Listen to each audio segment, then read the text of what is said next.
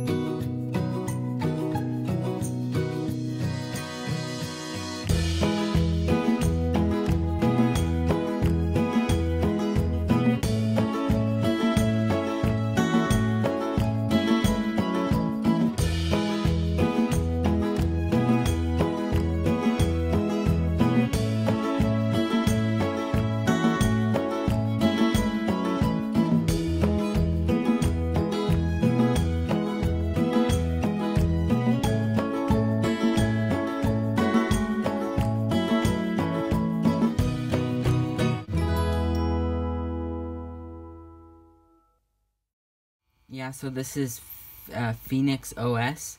So this guy Fenix has made um, this. It's based on XFCE Raspberry Pi 32-bit OS, and he's added like uh, his own look, and then Windows 10, Windows 7, Windows 95, Mac, uh, and then Ubuntu look, then an XP look. So it's pretty nice. Um, you can try it out if you want. I'll leave the download link in the description. And I also want to thank everybody who subscribed to me. Um, now I'm 400 subscribers. Thank you to all of those people. Uh, I hope you like this video. I hope you subscribe, uh, and I hope you subscribe.